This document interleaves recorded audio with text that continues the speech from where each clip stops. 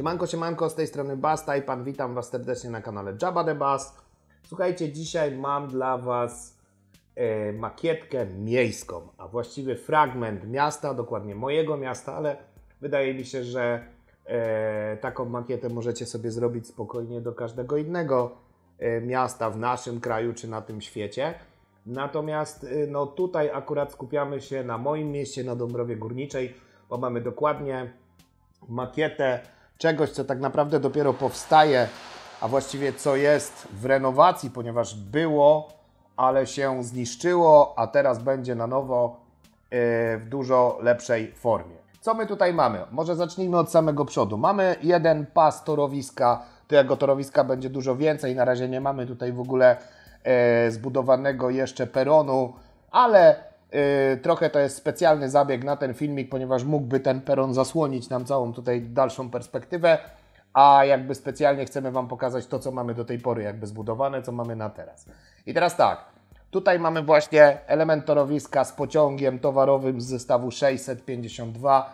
Piękny zestaw. Ja jestem osobiście bardzo zachwycony tym zestawem. Ja nie jestem fanem pociągów do końca. Natomiast no, jak wszystko w klockach, pewne elementy mnie jarają i ten pociąg jara mnie bardzo szczególnie, że w tym zestawie była bardzo fajna krowa. Dworzec, ten budynek oryginalnie pochodzi z XIX wieku i jest pamiątką po e, kolei warszawsko-wiedeńskiej. Niestety no, przez lata się troszkę zrujnował i trzeba teraz go zrobić od nowa. Tak będzie wyglądał ten dworzec w moim mieście po jego przebudowie, e, naprawie, renowacji i tak dalej.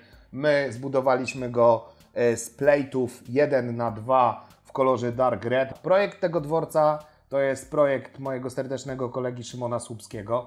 On go wymyślił od A do Z, on go zaprojektował i on go wybudował. Wiadomo, że w oparciu o jakby zdjęcia, które dostaliśmy z gminy, z Urzędu Miasta naszego, na którego jakby zlecenie i przy pełnym patronacie budujemy tą makietę, bo to jest tylko jej część. Ja Wam potem pokażę jakby całość tej makiety, jak już ją stworzymy do końca, ale chciałem Wam się pochwalić tym elementem, bo według mnie jest przekozacki, przefajny i mnie się bardzo podoba. Cała reszta to są elementy jakby te, które będą przy tym dworcu, tak? Zaraz Wam pokażę go z drugiej strony, yy, bo tutaj z tej strony też się dzieją bardzo fajne rzeczy i chciałbym, żebyście je zobaczyli, co mi się podoba. Właśnie ja nie do końca byłem przekonany, jak on mi o tym mówił, że zbudujemy go yy, z plate'ów i że on będzie super wyglądał. Słuchajcie, jestem aktualnie fanem budowania z plate'ów, bo ja bym yy, to zbudował trochę inaczej, gdybym ja to planował. Natomiast Szymon stwierdził, że nie, tutaj nie dyskutujemy o niczym, będzie właśnie tak, jak on chce i dokładnie tak jest i bardzo się cieszę, że nie stawałem tak zwanym okoniem, tylko że powiedziałem, dobra, zrób, zobaczymy i że y, wykazałem się tutaj bezwzględną mądrością. Nie no, oczywiście się śmieję, to nie ma nic wspólnego z mądrością, słuchajcie, ale jakby bardzo lubię takie zaskoczenia, kiedy y, nie jestem do czegoś przekonany i nagle ktoś mi to pokazuje jestem w ciężkim szoku. I tak, tutaj jestem w ciężkim szoku. Przepiękne kolory, wszystko w dark redzie, poprzeplatane gdzieś yy, brownami, właściwie reddish brownami, poprzeplatane gdzieś czernią, poprzeplatane plejtami w kolorze dark orange i generalnie super opcja. Jak widzimy tutaj na dach zamontowała nam się wiewiórka z Franców. No, dużo w moim mieście jest wiewiórek, ponieważ dużo jest w tym mieście zieleni. To też taka wiewiórka nam tu absolutnie nie przeszkadza, akurat się zamontowała na dachu. Niech sobie tam siedzi. Jak widzicie, mamy tutaj pasażerów, którzy czekają sobie spokojnie na pociąg. Akurat teraz na peron wjechał pociąg towarowy, więc oni do niego nie będą wsiadać. Ale zaraz zobaczymy, jak by to wyglądało, gdyby tutaj podjechał mm, pociąg pasażerski. Ciekawe, czy to będzie równie fajnie wyglądało, kiedy właśnie wymienimy te pociągi, więc dajcie sekundę, już wymieniamy. Wracamy po przerwie, wymieniliśmy pociąg towarowy na pociąg pasażerski, dokładnie pociąg z zestawu 651. E, Jak widzicie, według mnie też pasuje. Wiadomo, że ten ma ciekawszą kolorystykę, jakby jest formę ma ładniejszą, no bo ten to jest taka jakaś jedna wielka bryła z dziobem i tyle i z dodatkowym wagonem, no po prostu pociąg. No ale z drugiej strony te pociągi tak wyglądają, więc też nie ma co tutaj czarować i robić z niego nie wiadomo co. Jest jaki jest, pasuje, jest spoko. Ławeczki, które tutaj macie, też to jest projekt Szymona. Lampy też według projektu Szymona. Lampy mają specjalne oczywiście baterie słoneczne, żeby słońce mogło te lampy ładować, żebyśmy mogli oszczędzać energię, bo generalnie jakby cały projekt dotyczy centrum przesiadkowego w moim mieście.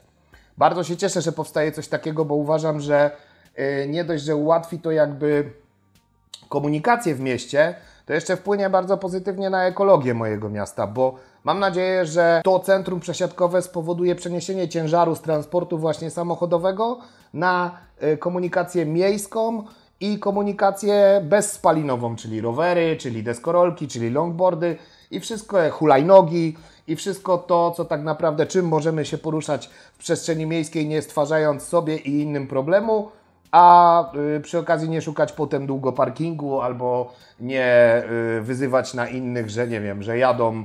Y, wiadomo, jak się zachowują kierowcy polscy w, w polskich miastach na polskich drogach. No tak niestety bywa czasami. Zresztą nie ma co opowiadać, rowerzyści zachowują się podobnie. Wracamy tymczasem do naszej makiety. To, czy Wam się ten budynek podoba, czy nie, to już ocenicie w komentarzach. Mam nadzieję, że będziecie równie zauroczeni nim jak ja. E, budynek jest otoczony zielenią. Tutaj bardzo piękny ten element.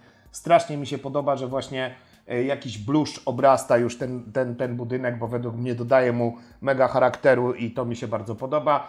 Na zbliżeniach zobaczycie krzaczki, które tutaj mamy, otaczają cały ten dworzec, bo też są bardzo ciekawe. To mój człowiek znowu Jarema. Łukaszku, pozdrawiamy serdecznie. E, te krzaczki nam podpowiedział, są super. Zobaczycie, jak Szymon wymyślił kosze na śmieci, bo też według mnie są genialne. Jak ja nie jestem fanem City do końca, tych wszystkich miejskich zestawów, to taka odsłona budowana przez nas według naszego pomysłu bardzo mi się podoba, bo jest to, ma to formę makiety, ma to formę jakąś taką dodatkową, a nie tylko jakby yy, gromadzenie tych samochodzików wszystkich i tych, tej infrastruktury miejskiej według, według jakby instrukcji, nie? Yy, więc tak jak, ja, tak jak Wam mówię, no zobaczcie sobie ile tu tych plate'ów jest zastosowane, tych płytek, E, zaraz będziecie na zbliżeniach sobie oglądać wszystkie szczegóły tego, tego dworca, bo jest tu mnóstwo rzeczy, które są fajnie zrobione. Bardzo mi się podoba, jak Szymon na elewacji wymyślił tutaj z plate'ów jedynek takie paski. E, bardzo to jest ciekawy, ciekawy temat dla mnie. Bardzo podobają mi się nadbudowy okien, jak są właśnie zrobione z tej styli. Yy, jak one tutaj są zamontowane i jakiego to dodaje charakteru temu, temu budynkowi. No bo wiecie, no budynek jak budynek, jest jakaś bryła i tyle, nie? Ale to, jak ta bryła yy, finalnie wygląda i jak ona, właśnie materiał, z którego ona jest zbudowana, właściwie klocek, który wykorzystamy do jej budowy, nadaje jednak mega charakteru. No tutaj ta cegiełka według mnie jest przepiękna. Ja nie mam żadnych wątpliwości, że to jest zbudowane dokładnie tak, jak powinno być zbudowane. Jeżeli chodzi o dach, Dach mamy e, ze skosów, no bo jak zrobić dach? E, bardzo klasycznie, klasyczny zresztą dach. No zresztą tak jak Wam mówię, no budynek jest z XIX wieku, więc tutaj ciężko oczekiwać o jakieś nowatorskie nie wiadomo co, tak? Ale z tego co widziałem na projekcie, to yy, budynek ten ma tak wyglądać, więc jest to jego, można powiedzieć, wierna kopia oddana w klockach Lego. Ok, słuchajcie, zmienimy stronę, więc na chwilę cięcie tak jak Wam mówiłem, zmieniliśmy stronę. Jesteśmy po stronie od tak zwanego centrum miasta, bo tu byliśmy od. Yy, pokazywałem Wam do tej pory stronę od torowiska, od terenów zielonych mojego miasta, od terenów rekreacyjnych. Teraz jesteśmy stricte w centrum miasta.